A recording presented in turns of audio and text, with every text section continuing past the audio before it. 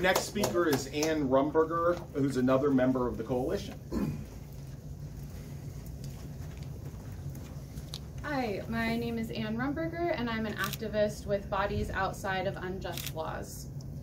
Our right to access abortion care was limited even before Roe was overturned, and now we are in a full blown crisis as people are being forced to carry unwanted pregnancies, and many who want children cannot afford to have them. We are watching women refused emergency abortion care, told to wait until they are closer to death before being treated, forced to undergo C sections rather than receive necessary abortion care, forced to carry non viable pregnancies because the fetal anomalies don't qualify for abortion under barbaric state bans, and criminalized for just about every common pregnancy outcome. We're watching trans people denied health care and threatened in their schools and communities. It doesn't have to be this way. We have watched LGBTQ people denied basic rights and our reproductive freedom slowly eroded and then quickly curtailed, while the majority of our elected officials have been unwilling to prioritize our right to self-determination.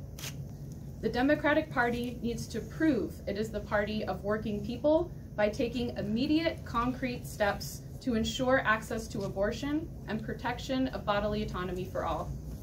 Rather than lip service or vague assurances, we need our representatives to treat this like the crisis it is. We need the Hyde Amendment repealed so those on Medicaid have access to care. We need the Comstock Act repealed so conservatives don't use it to ban the mailing of abortion pills. We need free health care for all, free daycare, paid family and sick leave, and more economic support for working families. Rather than spending billions of dollars funding genocide in Gaza and a militarized police force at home, we demand investment in our communities and an expansion of our reproductive and economic rights. Access to legal abortion is incredibly popular.